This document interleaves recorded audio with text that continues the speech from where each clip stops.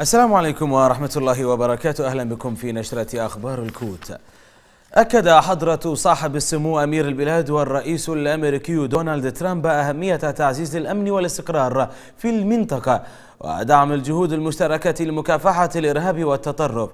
جاء ذلك خلال الاتصال الهاتفي الذي تلقاه سمو الأمير من الرئيس الأمريكي والذي تخلله بحث العلاقات التاريخية التي تربط البلدين الصديقين والتطلع الدائم لتعزيز التعاون المشترك في شتى المجالات.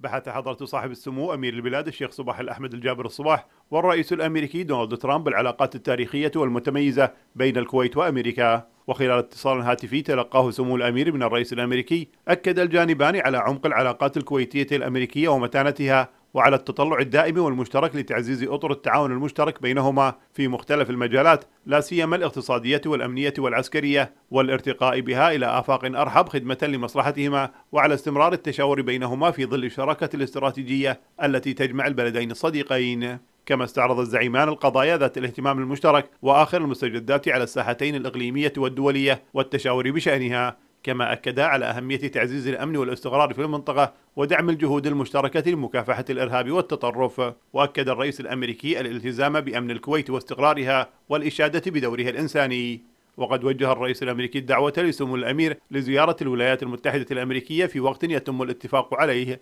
متمنيا لسمو الأمير موفور الصحة والعافية ولدولة الكويت كل الرقي والازدهار. وقد ثمن سمو الأمير للرئيس الأمريكي هذا التواصل ووجه الدعوة له باسمه وباسم دولة الكويت وشعبها لزيارة الكويت متطلعا تلبيتها في المستقبل القريب.